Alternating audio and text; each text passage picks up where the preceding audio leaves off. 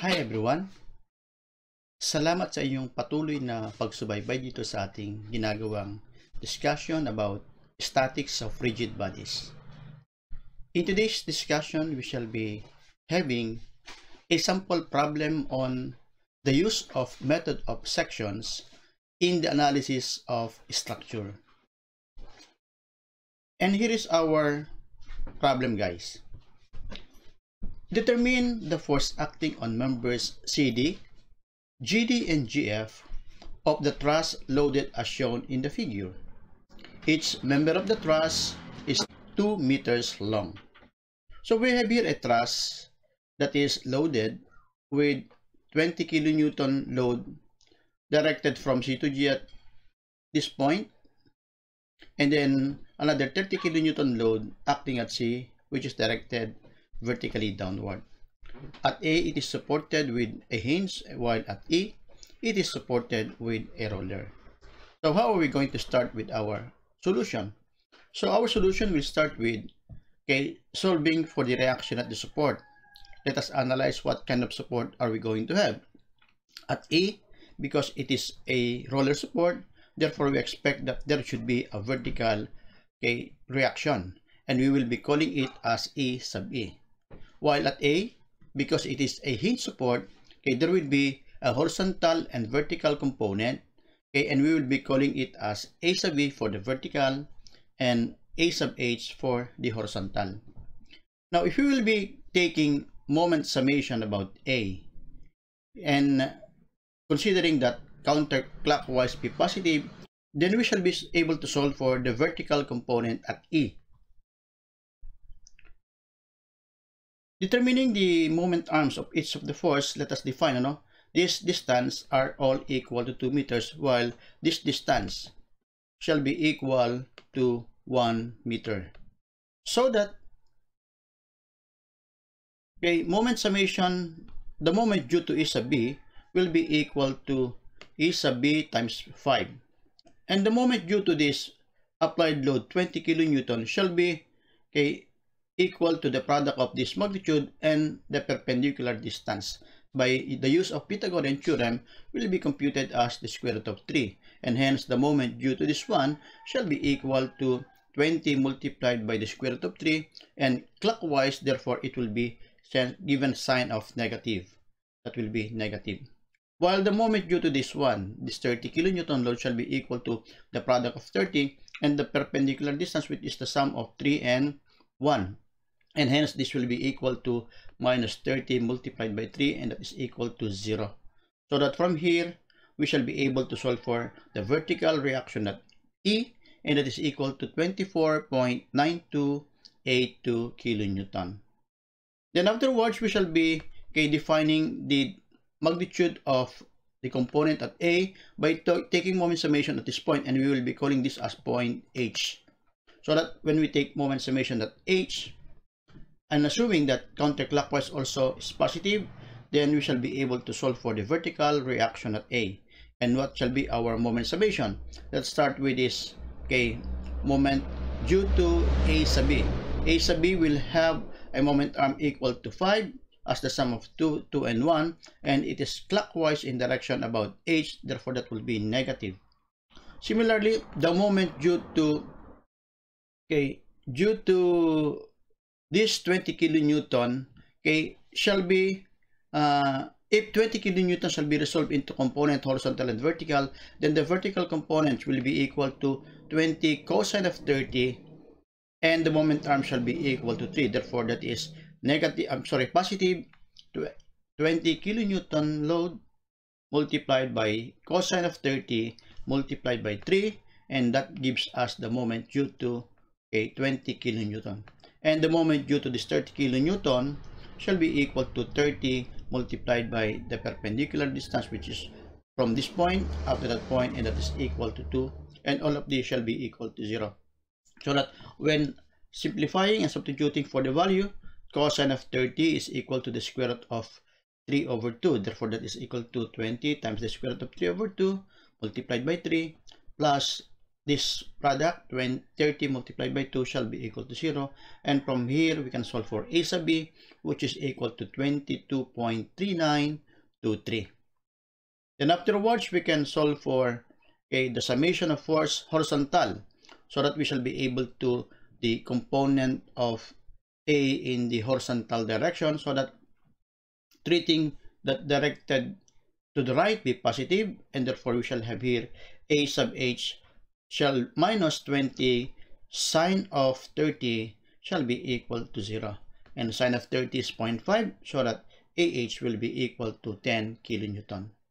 Now after we have solved for the reactions, now let us try to identify what are those members that we would like to compute. And therefore, we are required to solve for this portion and these are part or either part of the structure. As I have uh, mentioned in my previous discussion, it will be better to consider a using method of section if we are taking the forces acting on the part or on the members that are located on the inner part of the structure. So therefore, if we're going to use the method of joint, then we try to pass an exploratory section that will cut all these three K members so that we shall be dividing this into K2 parts. We have the upper part and the lower part or the left part and the right part. It is up to us now to select what which uh, section are we going to use. Are we going to use this section or the lower part of this exploratory section such that you will have here your CD, you have here your GD, and you have here our GF. Or we may select the upper part of the structure so that again you should have here our CD, our GD, and our GF and I suggest that when we select, we select which one is simpler. Is it simpler to use or to select this part or simpler to select this part? So when I say simpler, it I mean okay simpler simple in the construction and the force are lesser. So if we're going to compare, this one will contain 1, 2, 3, 4 plus 3 unknowns, okay, defined by this uh, three colored, blue colored uh, okay, members. So meaning we have to deal with seven forces. Well this one is only have one external unknown which is the reaction and the three unknowns which which sum up to four. Therefore i would suggest that we use this part when we consider okay, the method of section. Now to solve for one of the unknowns we need to establish an equation such that the other two unknowns shall be eliminated. And to do it we take moment summation about the intersection of the other two unknowns so that if we were to do it, we sum up moments about the intersection okay, at the point where the two will meet. So in this particular case, if we wanted to solve for CD, this one, we try to eliminate GD and GF, these two, by taking moment about the intersection which is at point G. So if we're going to locate that point G, so point G will be there. This point is our G. So that if we will be taking moment summation about this point, therefore we shall be able to uh, get the, uh, the value of the CD. Now taking that moment, which will be equal to 0 and using that convention to be a positive, what will be our moment equation? Okay, we try to establish okay, the direction of the CD. Minsan kasi ano, yung CD natin ay hindi natin alam ano, but we can we can determine its direction by defining by uh, again considering the moment equations or moment summation. So if the moment summation should be equal to zero, you'll notice that this moment will be creating a counterclockwise moment about this G. And to counteract this counterclockwise moment, there must be additional moment that will be produced and this will be coming from the CD. And hence we expect that CD, in order for CD to produce a clockwise moment, therefore CD must be directed in this direction. Ba? So that if we will be applying that moment summation, so ang ating magiging moment ay, okay, yung moment due to E sub V will be the product of this multiplied by the moment arm and that is equal to 24.9282 multiplied by 3. And the moment arm of the CD shall be the perpendicular distance from this G to CD. And that is equal to this line. And by Pythagorean theorem, okay, this distance is equal to the square root of 3. So that the moment will be equal to this CD multiplied by the square root of 3 and this must be equal to 0. So if we will be simplifying the CD, therefore CD will be at 43.177 kN.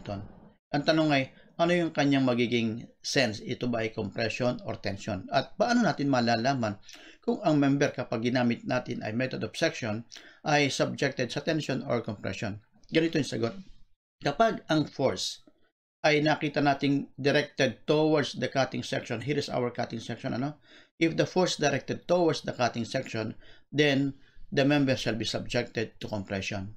Kaya dito sa ating solution, dahil yung CD ay nakita nating directed towards the cutting section, hence, kay CD will be subjected to compression. While if the force is directed away from the cutting section, then the member shall be subjected to tension. Now, tingnan natin ngayon itong force.